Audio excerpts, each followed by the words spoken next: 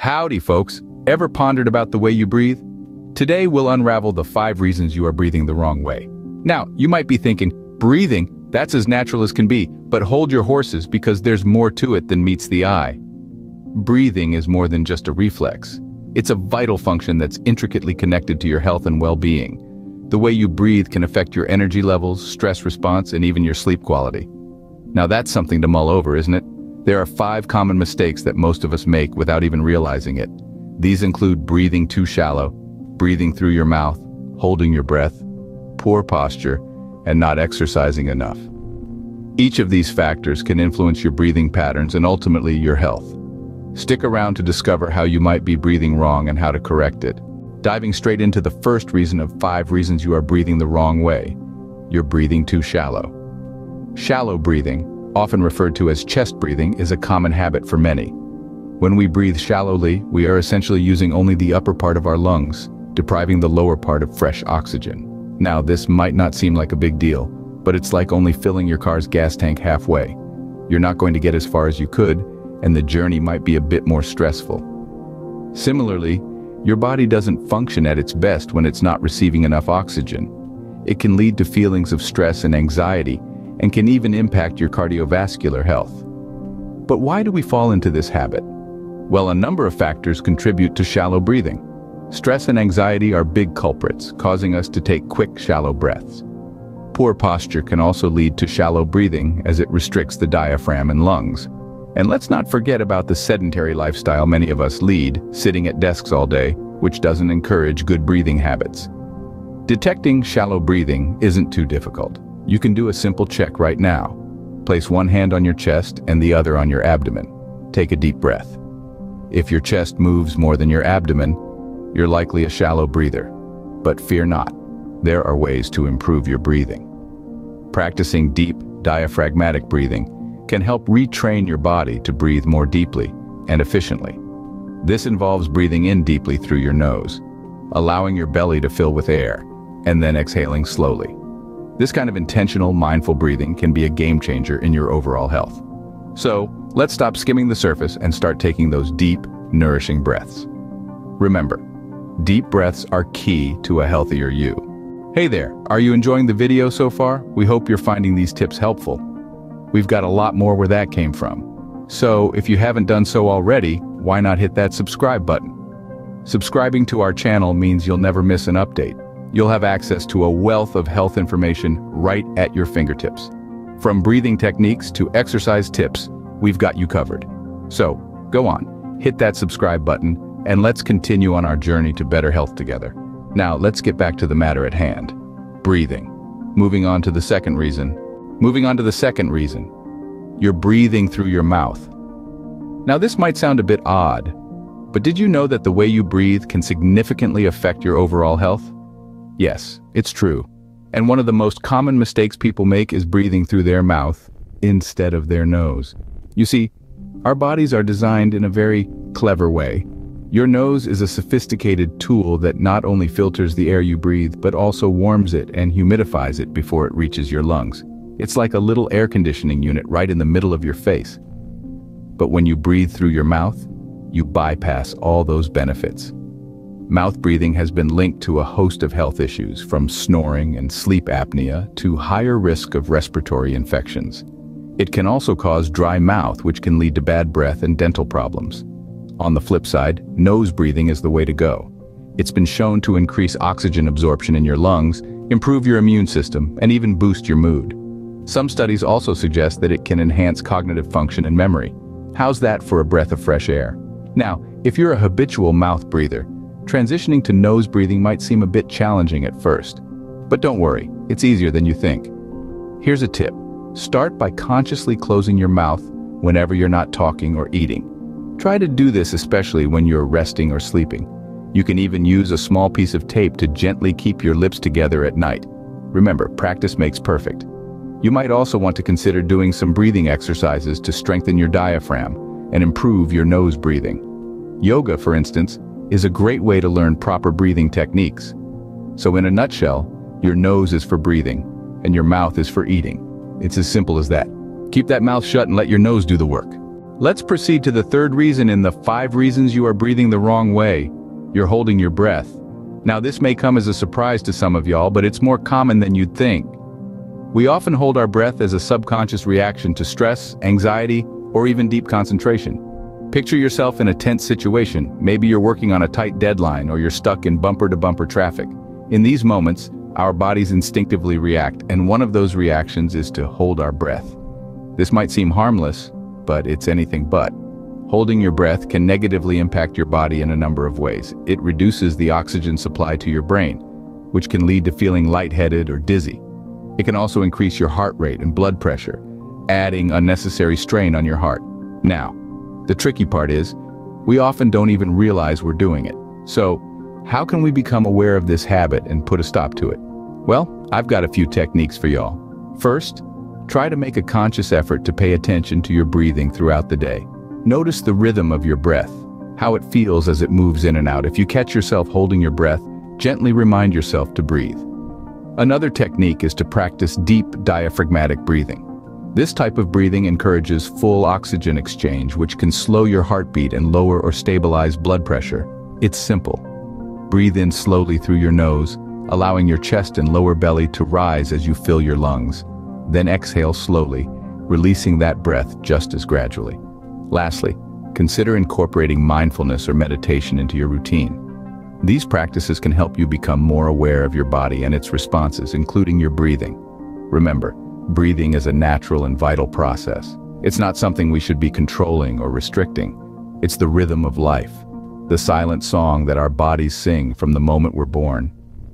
So, don't hold back. Let that breath flow the fourth reason you might be breathing wrong is, your posture is poor. Now this might sound surprising to some, but let's think about it. When your posture is poor, your body isn't aligned properly. This misalignment can restrict your diaphragm and lungs, leading to shallow and inefficient breathing. Imagine your body as a musical wind instrument.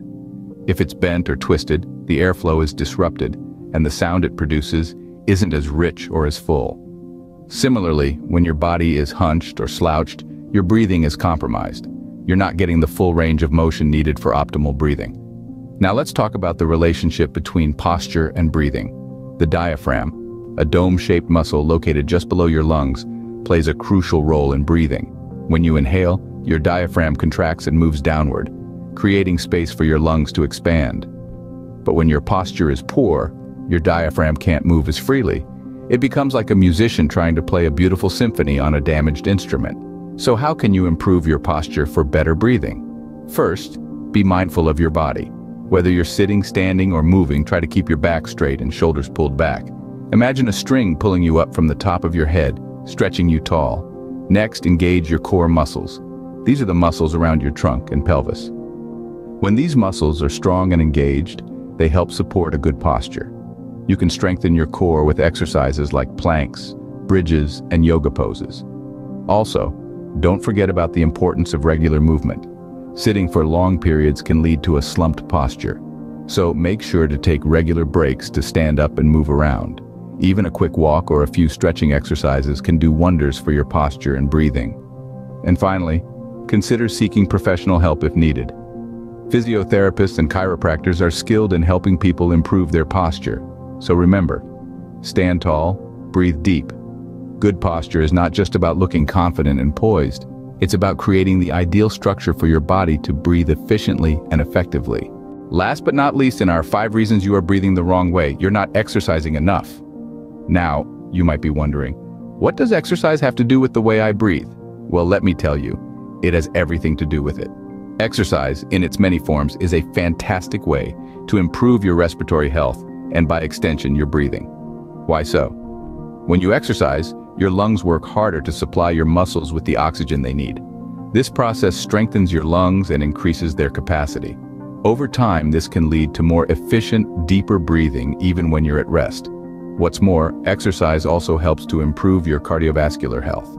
A strong heart can pump blood more efficiently, carrying oxygen to where it's needed most. This means less huffing and puffing after climbing a flight of stairs or chasing after your dog. So what type of exercises should you be doing? Well, aerobic exercises, also known as cardio, are particularly beneficial for improving your breathing. These include activities such as jogging, swimming, cycling, or even brisk walking. These activities get your heart rate up and your lungs working, promoting better oxygen exchange. But that's not all.